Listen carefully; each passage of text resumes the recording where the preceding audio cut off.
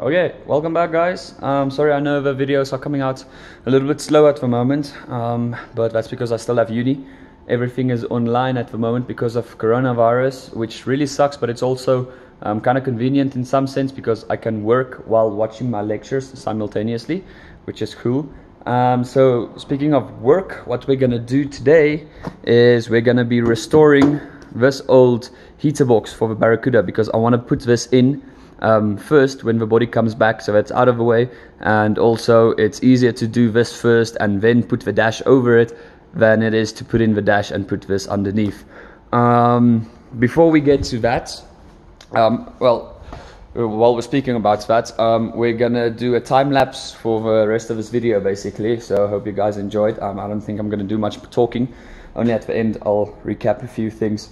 Um, but yeah, before we get to that, uh, I just wanted to show you some work that I've done on the Regal. So I finally fixed the heater in this car as well. Um, so I just replaced the hoses, but down here, um, the bottom hose, I made bridge of a T-piece so that I can add another temp sender um, because the stock gauges are just stripes.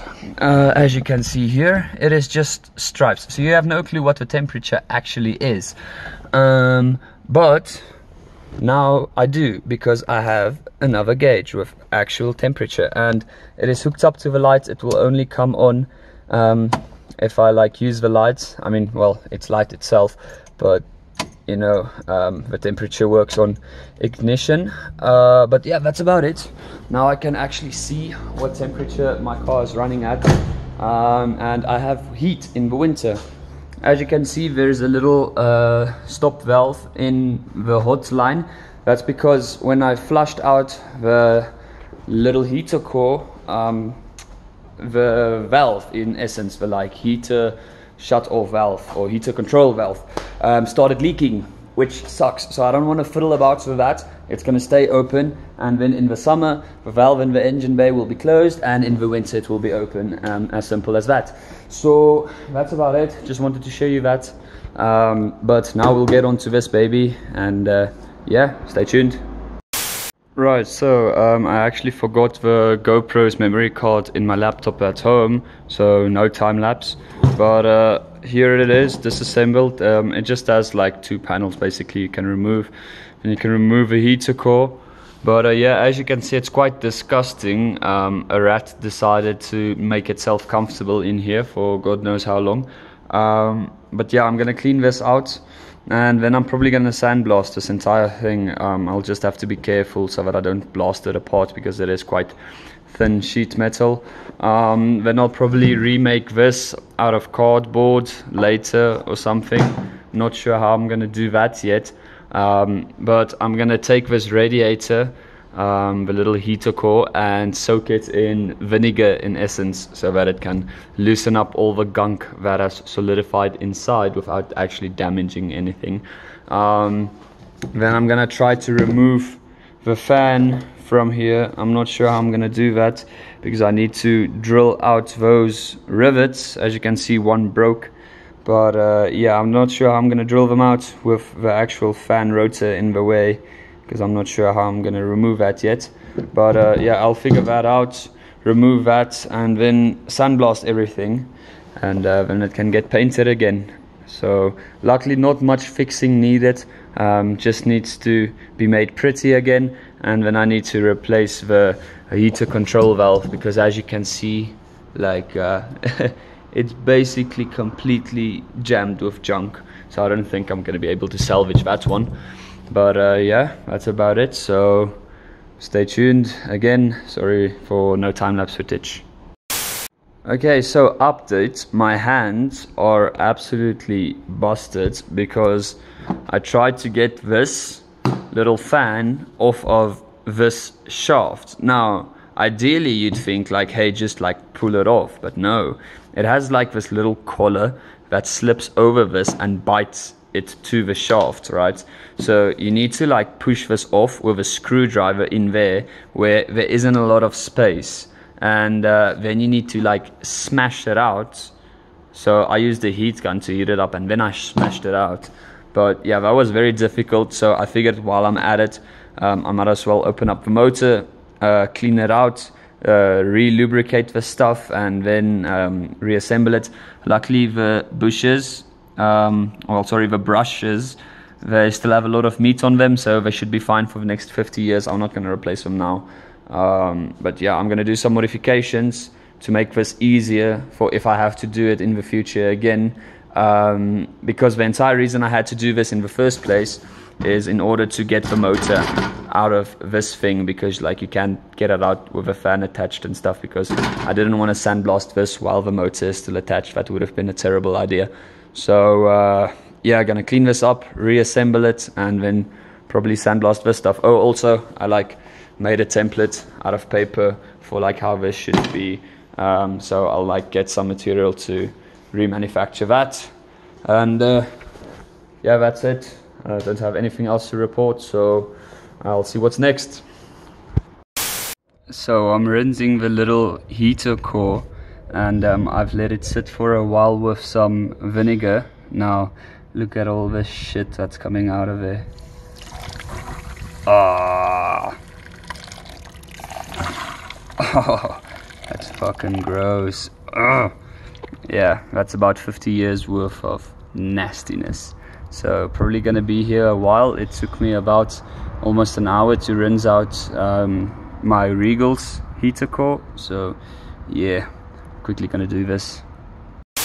So this is all the dirt and rust and crap that has accumulated in the heater core. And this is just the first flush. So let's see how it goes.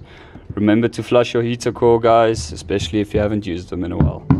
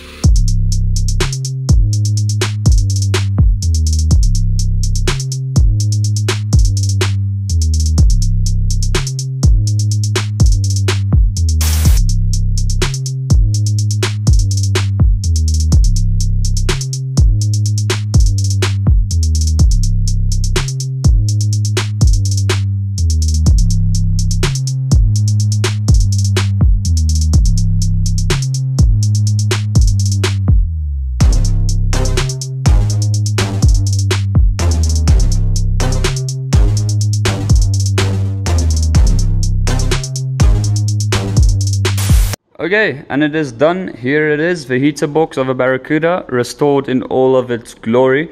Now, um, the only thing left to do is get a new heater control valve and slap it on here. Couldn't find one in Namibia, so I'll have to order that. Um, yeah, what else is there to say? You basically saw everything I did. Um, if you paid attention, you would have seen I only sandblasted the exterior of the little box and painted that because the powder coating type of paint they used on the interior was still in a good condition. Um, I just washed everything out with soapy water before I put it back together. Um, to get the plastics nice and black again, I just washed them as well and then rubbed in some of this tire dressing. Um, it gives them that good old look again, um, fresh out of a factory. So yeah, I also replaced the foam on this little flap thing. I replaced the foam around the heater. I replaced the little uh, cardboard thing. This one was a bit messed up. I used this like type of stiff styrofoam, if you will. You can get that at your like stationery stores. Um, oh, also replaced the foam on the inside of this little door. And while we're here, let me just like uh, boast a little and uh, highlight the attention to detail I pay when assembling this. Yes, that is gold Allen bits with stainless lock nuts. And yes, I tapered the foam around the edges so that when you do close this little door, it doesn't peel out around it. So uh, yeah that's about it. I don't cut corners as you can see everything's done properly. Um, the only thing i still need to do is the wiring. I'll do that once i have a wiring harness in. Um, i just need to put a new terminal on that resistor and just like um, splice in the red here for another terminal and then connect one to the black. But yeah uh, that's about it.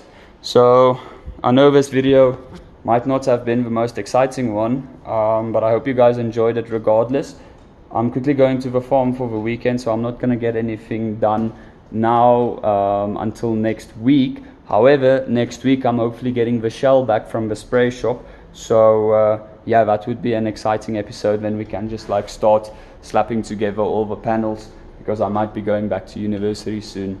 Um, so then all the panels are out of the way and safe. So uh, yeah, that's about it. Hope you guys enjoyed watching and stay tuned for the next one. Have a good one. Cheers.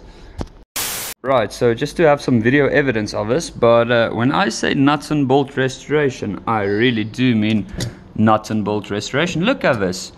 Golden Allen bolts with lock nuts, and you're never even gonna see this? Why? Why not? Do it properly, guys. Don't skip corners.